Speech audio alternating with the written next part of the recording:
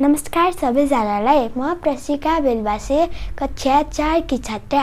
आज म हजुरहरूको सामु एउटा कविता वाचन गर्न गइरहेकी छु। यो कविता उपजाति छन्दमा रहेको छ। यो कविता भानुभक्त आचार्यले लेख्नु भएको थियो। ल सुरु गरौँ है त। कसलाई हो शत्रु भनेर जान्नु? आफ्ना दसैँ इन्द्रिय शत्रु मान्नु। कसलाई मित्र भनेर मान्नु जित्या तिनै इन्द्र मित्र मान्नु।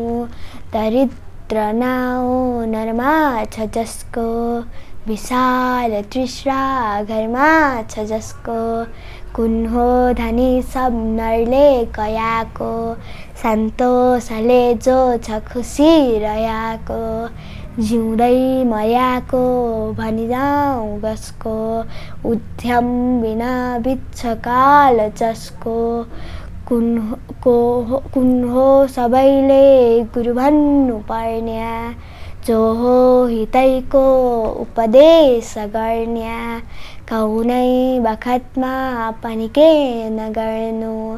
पापमा अगाडि कहिले नसर्नु। पापमा अगाडि कहिले नसार्नु। पापमा अगाडि कहिले नसार्नु। धन्यवाद।